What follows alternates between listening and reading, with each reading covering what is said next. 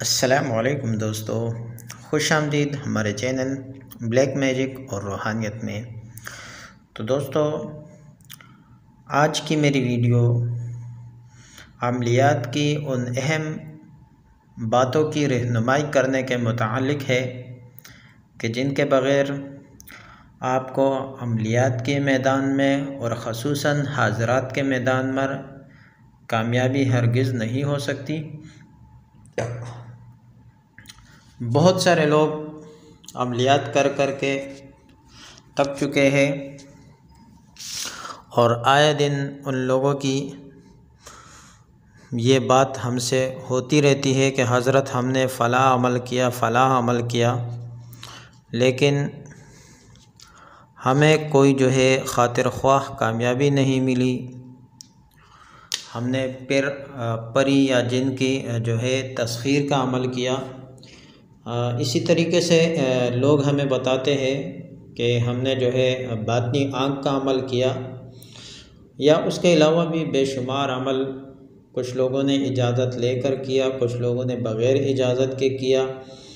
चंद खुश नसीब होते हैं, जिन्हें थोड़ी बहुत कामयाबी मिल जाती है, वरना ज़्यादातर लोग ऐसे हैं कि जो यूट्यूब मुख्तलिफ़ यूट्यूब चैनलों पर ख्वार होते रहते हैं।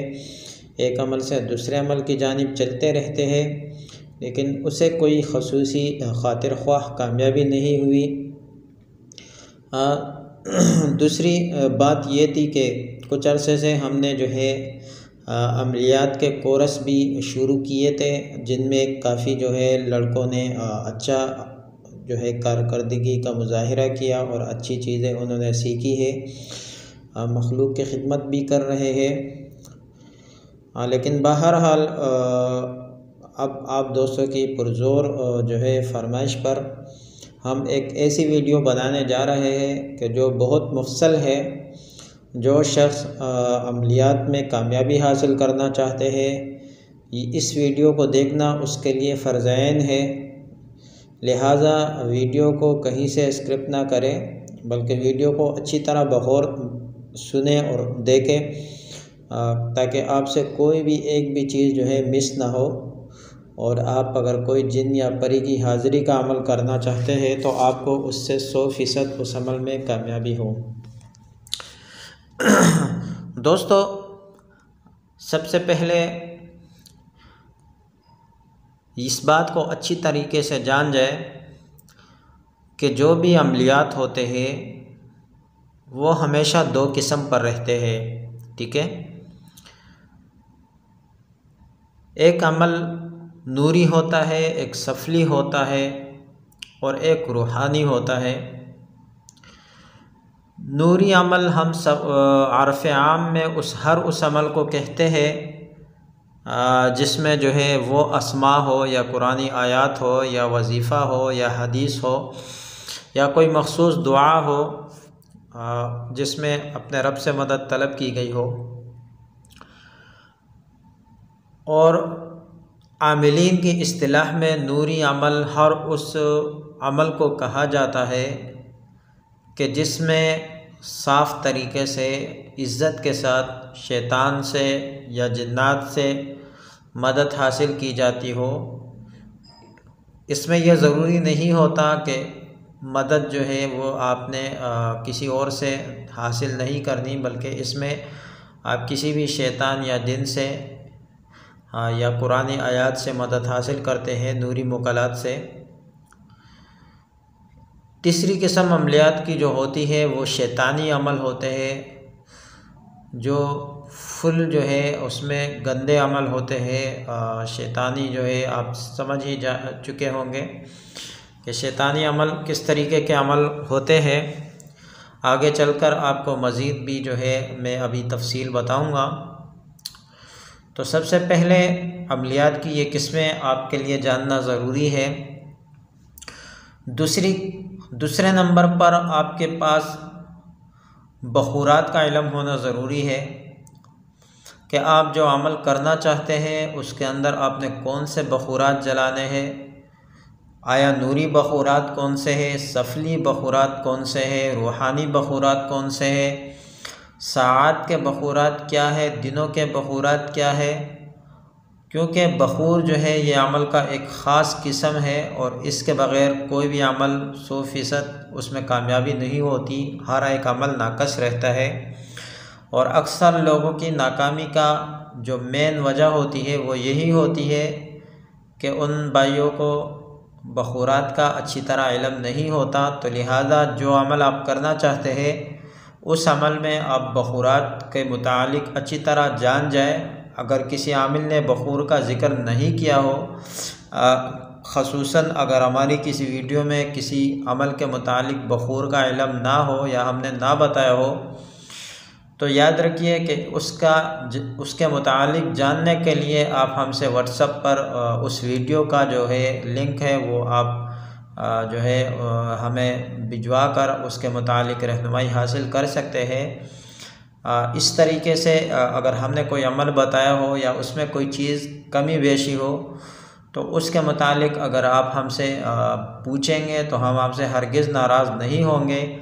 बाज़ बातें ऐसी होती है कि वो हम आपको जो है वीडियो में नहीं बता पाते या बाज़ अवत हम भूल जाते हैं या जानबूझकर हम नहीं बताते। ताकि ना अहलों के हाथ ना लगे तो लिहाजा उस अमल के मुतालिक या कोई और ख़ास वजह या राज होता है। तो उस चीज़ को जानने के लिए आप हमसे पर्सनल में रबता कर लिया करें और उस चीज़ की, उस अमल की इजाज़त और उस चीज़ के मुतालिक इलम या मालूम हासिल कर लिया करें। तीसरी किस्म, जगह की अहमियत। अमलियात के अंदर एक बहुत ही अहम जो है, मकाम है अपनी जगह, कि आपने एक ही जगह पर अमल करना है, एक ही वक्त पे अमल करना है। अक्सर लोग एक दिन एक जगह, दूसरे दिन दूसरी जगह अमल करते हैं, जिसकी वजह से वो नाकाम हो जाते हैं और बाद में वो परेशान रहते हैं। नंबर चार पर है इजाज़त। कोई भी अमल हो उसकी हम अपने सब्सक्राइबर को वैसे भी इजाज़त दे देते हैं, मगर फिर भी कमेंट्स में अगर आप इजाज़त तलब करते हैं और हम आपको दोबारा रिप्ले करते हैं तो इसका मतलब ये होता है कि आपकी इजाज़त डबल हो गई और आपकी इजाज़त मज़बूत हो गई। ठीक है? और पर्सनल में भी आप इजाज़त हासिल कर सकते हैं, लेकिन वो मखसूस शराइ के साथ और मखसूस अमाल में होती है। आम इजाज़त हम अपने हर वीडियो में आप दोस्तों को दे देते हैं। पांचवी किस्म, बींट या तोशा होता है तो उसकी एक बहुत अहम, ही अहम अहमियत है ख़ास कर जो सफली अमल होते हैं या जो शैतानी अमल होते हैं तो वो अमल बींट और तोशे के बग़ैर हरगज़ मुकम्मल नहीं होते। तो उन अमलियात के मुतालिक बींट या तोशा जो है, अक्सर वो आमिल अमल के दौरान उसका ज़िक्र छोड़ देते हैं। जिसकी वजह से अमल करने वालों को नाकामी होती है और आमिल ज़्यादातर इस वजह से छोड़ता है क्योंकि हर अमल में, हर आमिल के पास जो अमल होता है उसकी जो शरात होती है, जो उसने अपने तरीके से या उस्तादों के तरीके से अमल किया होता है तो उसका जो बीट का तरीका होता है, वो मुख्तलफ होता है और बाज़ अवत बीट में ऐसी चीज़ देनी पड़ती है कि जिसका ज़िक्र अवामनास में नहीं किया जाता बल्कि उसे राज समझा जाता है। तो लिहाजा दोस्तों इस बात को भी मद्दनज़र रखें कि बींट या तोशा हर अमल से मुतक़ एक बहुत ही अहम और ज़रूरी पॉइंट है। लिहाजा इस अमल को जिस अमल में आप सौ फ़ीसद कामयाबी चाहते हैं तो उस अमल में आपको बारे, आपको बींट के मुतालिक इलम होना ज़रूरी है। नंबर छः पर जगह, वक़्त एक होना चाहिए। सात जो होते हैं और सियारे जो होते हैं, उनका इलम होना ज़रूरी है। अच्छी सात कौन सी है, बुरी सात कौन सी है, मरीख़ की सात कौन सी है, उसकी अहमियत क्या है, उसमें क्या होता है, मुश्तरी की सात कौन सी है, उसकी क्या अहमियत है, जहरा की सात कौन सी है आतवारत की कौन सी है। तो दोस्तों इन इस पर भी तफसीला हम एक वीडियो दे देंगे। वहाँ आप इन सातों के मुतालिक तफसील से जान जाएँगे। और इसका इलम भी होना ज़रूरी है। वैसे ज़्यादातर हम जो अभी तक अमल दे रहे हैं तो उसमें हम ऐसे अमल दे रहे हैं कि जिनमें आपको वक़्त और साथ वगैरह की ज़्यादा ज़रूरत नहीं है। लेकिन इन करीब हम आपको ऐसे अमल देंगे कि जिनमें आपको इन चीज़ों की ज़रूरत पड़ेगी। नंबर सात पर है सियाही कितनी किस्म की होनी चाहिए। तो दोस्तों, सियाही वैसे तो तीन चार किस्म की बनती है, ज़्यादा भी बन सकती है। लेकिन आम तौर पर जो सियाही बनती है एक तो अरक गुलाब और ज़ाफ़रान की सियाही बनती है, जो नूरी कामों में इस्तेमाल होती है। खसूस जो बीमार होते हैं, उनको उससे तावीज़ लिख कर पिलाए जाते हैं। इसी तरीके से ज़ाफ़रान, मुश्क, उद, अनबर, इसको मिलाकर भी एक सियाही जो है सब बनाई जाती है। जिससे तावीज़ लिखे जाते हैं और उसके तावीज़ बहुत ही ज़्यादा ताकतवर और पावरफुल होते हैं। इसी तरीके से सफली अमलियात में, शैतानी अमलियात में, काली मुर्गी के खून से जो है उल्लू के खून से, हदहद के खून से, चिड़िया के खून से भी जो है तावीज़ लिखे जाते हैं। बकरे के खून से भी तावीज़ लिखे जाते हैं। तो उसकी भी अपनी एक जगह अहमियत है। शैतानी में जो है नाली, नाले के पानी से अपनी मनी से और हैज़ के खून से भी तावीज़ लिखे जाते हैं। जिसकी तफसील मैं यहाँ नहीं दे रहा, बहरहाल तो इनकी जो है अहमियत होती है। इन जो सियाही है, इस पर भी मैं अनकरीब जो है एक वीडियो डाल दूँगा उसमें मैं आपको बता दूँगा कि सियाही किस तरीके से बनती है नूरी किस तरह बनती है और सफली शैतानी किस तरीके से बनती है। आ, अच्छा दोस्तों हिसार की किस्में तो याद रखिए हिसार की मेन जो है आ, वो तीन किस्में हैं। एक नूरी हिसार है एक सफली हिसार है ठीक है और एक हिसार जो है वो शैतानी हिसार है। नूरी हिसार का तरीका मैं दे चुका हूँ। आप मेरी वीडियो है कड़ा अल्लाह का कड़ा मोहम्मद का तो मैं इन उसका लिंक भी नीचे दे दूँगा। आ, इसके साथ जो रूहानी हिसार है वो दस मरतबा आयातुल कुर्सी और चारों कुल तीन तीन मरतबा पढ़ के अपने गिरद हिसार लगाना है। आ, और जो शैतानी हिसार है तो इन उसका मैं आपको अमल बता दूँगा। फ़िलहाल मैं चंद वजूहत की बिना पर यहाँ पर वो अमल नहीं दे रहा आ, उसकी तफसील में इन फिर बता दूँगा। अच्छा कस्में या वास्ते ये कितनी किस्म की होती है? ज़ाहिर सी बात है आप जन्नात को तलब करते हैं शयातीन को तलब करते हैं या आप नूरी रूहानी मखलूक़ को तलब करते हैं तो वो आपके पास क्यों आए? आप उसके क्या लगते हैं कि वो आपके पास आए? ज़ाहिर सी बात है वैसे तो नहीं आएँगे आपके पास। आपके पास कुछ तो ऐसा होना चाहिए। तो इसके लिए आमिलीन उन्हें कस्में देते हैं या उनके वास्ते देते हैं, उनके बड़ों के और उनकी तारीफ़ करते हैं। इसमें काफ़ी कुछ होता है। तो इसकी मुख्तलिफ़ कस्में होती हैं। इन कस्मों के मुतालिक इन हम बहुत जल्द तफसीला बात करेंगे। इस पर मैं अलग अलग वीडियोज़ बनाऊँगा। और इन आपको सिखाऊँगा कि नूरी कसम कौन सी होती है, सफली कौन सी होती है और रूहानी और शैतानी कस्में क्या है।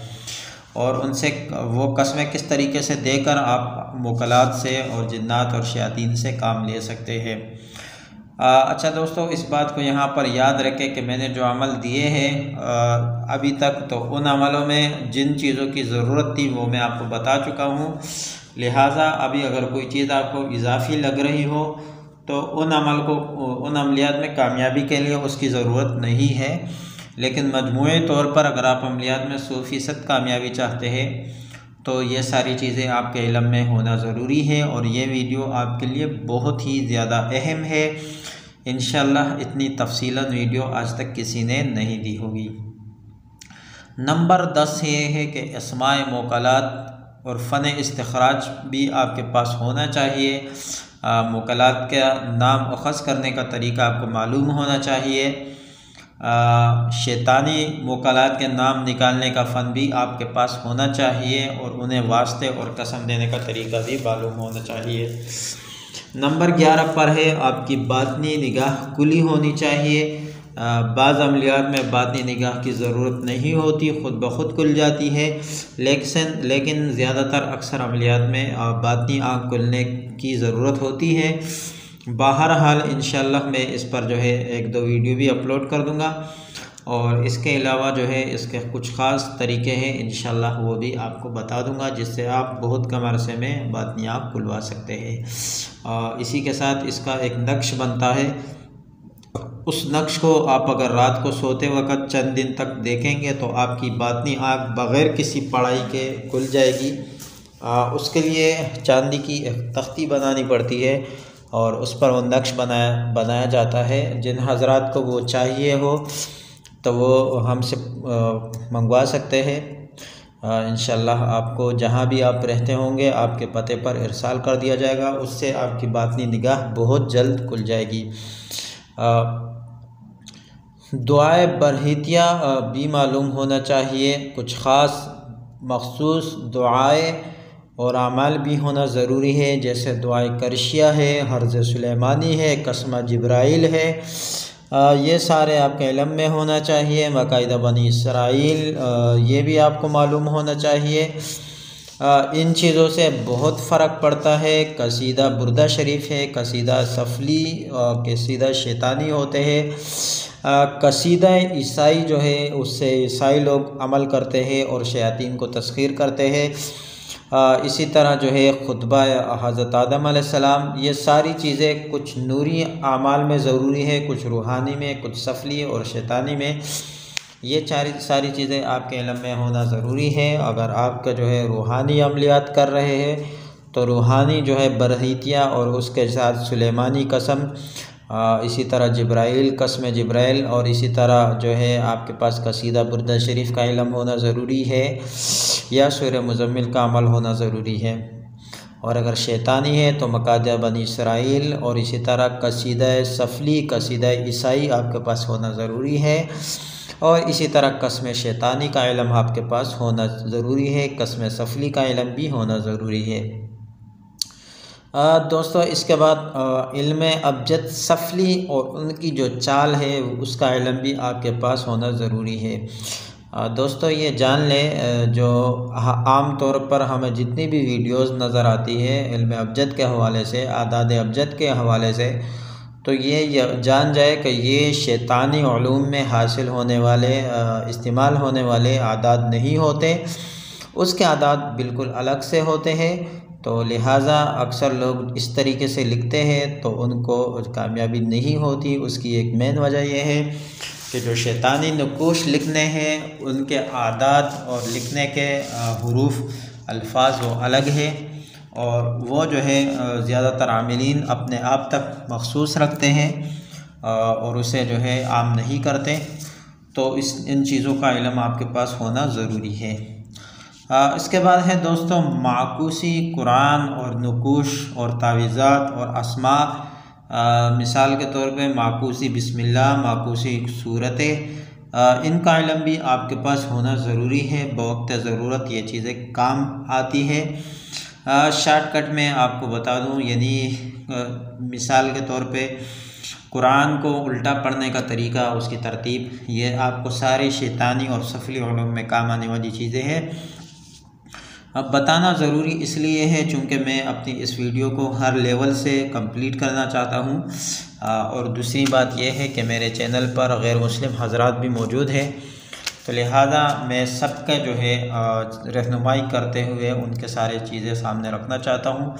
ऐसा ना हो कि किसी चीज़ की वजह से कोई जो है महरूम रह जाता है, अमल में नाकाम हो जाता है और बाद में मुझे गालियाँ देता रहता है। बाकी जो शख्स गलत करेगा तो ज़ाहिर सी बात है उस पर उसकी पटकार और गुनाह दुनिया में भी है और आखरत में है। चाहे वो मुसलमान है, चाहे वो काफिर है, चाहे वो हिंदू है, चाहे कोई भी गैर मुस्लिम है अगर वो भी गलत करेगा, शैतानी चीज़ों से गलत काम लेगा तो उसको उसका नुकसान बहरहाल ज़रूर पहुँचेगा। दोस्तों, ये याद रखें कि जो सफली शैतानी इलम है, ये भी दो किस्म, किस्मों पर है। मैंने आपसे पहले कहा कि एक नूरी है, एक सफली एक शैतानी है। जो नूरी किस्म का इलम है, इसमें भी शयातीन, जिन्नात आपके ताबे होते हैं, आपका काम करते हैं। लेकिन उसके लिए आपको कोई गंदगी की ज़रूरत नहीं होती, बल्कि आप पाक साफ़ होकर, पाक साफ़ कपड़े पहन कर नहा धोकर और साफ़ सुथरी जगह पर अमाल कर सकते हैं। जो शैतानी इलम होता है, गंदा शैतानी इलम होता है, जिसे काला इलम कहा जाता है तो उसमें यह होता है कि आपको बरहाना होकर, वाशरूम में और गंदी जगह पर ये आलम करने पड़ते हैं। तो लिहाजा दोस्तों इनमें फ़र्क होता है और कुछ चीज़ें इनमें ऐसी भी हैं जो बाहर हाल में इस वक्त यहाँ आपके सामने ज़ाहिर नहीं कर सकता, लेकिन आपके पास इन चीज़ों का इलम होना ज़रूरी है। तो दोस्तों, इसके अलावा भी बहुत कुछ है जो आपके लिए जानना भी ज़रूरी है और पहचानना भी ज़रूरी है, लेकिन कुछ मखसूस चीज़ें थी जो ज़रूरी और ज़्यादा अहमियत की हामिल थी, उनकी हमने निशानदही कर दी। उसके आखिर में हम अपने अमलियात के चंद कोरस हैं जो हमने तरतीब दिए हैं। उनके मुतालिक बात करते हैं। अल्हम्दुलिल्लाह हमारे पास से बहुत सारे शागिर्द जो हैं, वो अमलियात अब तक सीख चुके हैं और कामयाबी के साथ अमलियात कर रहे हैं। ख़ुद भी फ़ायदा उठा रहे हैं, मखलूक खुदा को भी फ़ायदा पहुँचा रहे हैं। सबसे पहला कोरस हमारा अमलियात का, रूहानी अमलियात का कोरस है। इसमें आपको कुरान मजीद, सूरतों की सूर जिन सूर मुजम्मिल, फ़लक, नास और इसके अलावा बेशुमार कुरानी आयात असमालहसना आपका नाम और लोगों के नाम, हरूफ अबजद और मुख्तलिफ़ तावीज़ात लिखने और उनसे नकोश लिखने, उनसे फ़ायदा उठाने, मोहब्बत, जुदाई और बुग़ और अदावत और कारोबार और रिज़क और बेशुमार तावीज़ात के फ़न से आपको आरास्ता किया जाएगा। अमलियात कोरस टू जो नूरी इलम है, उसमें ये होगा कि उसमें आपको इन चीज़ों के साथ साथ आपको वो अमलियात भी सिखाए जाएँगे कि जो ना कुरान में होंगे, ना हदीस में होंगे, लेकिन वो शिरक से पाक होंगे और उससे आप फ़ायदा उठा सकते हैं। जो है, बाज़ ये एक बात याद रखिए, जो सिर्फ़ रूहानी होता है तो उससे आप कोई जो है नाजायज़ काम नहीं करवा सकते, लेकिन जो नूरी इलम होता है उससे आप नाजायज़ काम भी बाज़ात ले सकते हैं। नंबर तीन जो है वो गैर मुस्लिम हजरात के लिए है। मुसलमान हजरात भी कर सकते हैं। सिर्फ़ सीखने की नीयत से, किसी उस पर अमल करने की नीयत से ना। क्योंकि सिर्फ़ सीखने पर एक अलम की हद तक आप पर कोई गुनाह नहीं है, लेकिन जब आप उस पर अमल करेंगे तो आप यकीनन गुनाह के मुस्तक होंगे। तो जो नंबर तीन है, वो मुकम्मल शैतानी इलम है। उसके सीखने की अहमियत और ज़रूरत क्यों है? तो जो गैर मुस्लिम हजरात हैं, वो तो जानते हैं कि उनके तो दीन में एक हिस्सा है कि वो अमलियात को सीख कर अपना दिफा करें, अपने घर वालों का दिफा करें। जो मुसलमान हैं, वो इस, सिर्फ़ इसको इस नियत से सीखें कि उन पर किस किस्म का जादू किया गया है? बाज़ात आप पर कोई जादू किया जाता है, कोई अमल किया जाता है। आप अपना इलाज कर कर के तक जाते हैं, आमिलीन आपका इलाज कर कर के तक जाते हैं, लेकिन आपको पता ही नहीं होता, आप अपना इलाज ही नहीं कर पाते। कोई आमिल आपका इलाज नहीं कर पाता और आप ठीक ही नहीं होते। तो उसकी मेन वजह यह होती है कि जो शैतानी इलम का वार आप पर चला होता है, आपको पता ही नहीं होता कि वो किस किस्म का वार है। तो लिहाजा आप उसका तोड़ भी नहीं कर पाते और जो आमिल होता है, रूहानी या नूरी तो उस आमिल बेचारे को भी उस इलम के मुतालिक कुछ पता ही नहीं होता। चूँकि उसके पास सिर्फ़ रूहानी और नूरी इलम होता है तो उसके पास अगर ये इलम नहीं हो तो वो उस चीज़ का तोड़ करना बाज़ों का बहुत ज़्यादा मुश्किल हो जाता है। तो मुसलमान हज़रत भी इसको जो है अपने दिफा की नीयत से सीख सकते हैं। हमारा अमलियात के जो कोरस है, वो जो शख्स करना चाहता है या जो सीखना चाहता है तो वो हमसे व्हाट्सएप पर नल में रबता कर सकते हैं। तो दोस्तों, उम्मीद है इन आपको सारी चीज़ें समझ भी आ गई होंगी और जिन चीज़ों की समझ नहीं आई वो आप हमसे पर्सनल में भी पूछ सकते हैं।